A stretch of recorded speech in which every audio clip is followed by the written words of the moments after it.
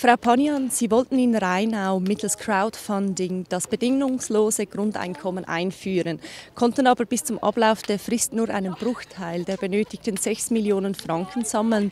Wie groß ist die Enttäuschung? Natürlich wäre es schön gewesen, wenn jetzt eine, eine riesen Crowd gesagt hätte, yes, wir, wir machen da mit, weil wir es gut finden.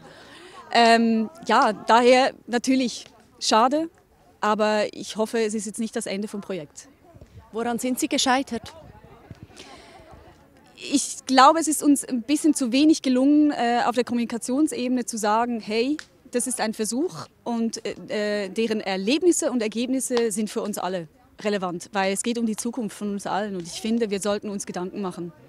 Wie geht es jetzt weiter mit dem bedingungslosen Grundeinkommen in Rheinau? Wie es weitergeht, ist relativ einfach. Ähm, wir werden uns zusammensetzen mit den Teilnehmerinnen und Teilnehmern, weil ein Austausch, Dialog war und ist uns einfach wichtig.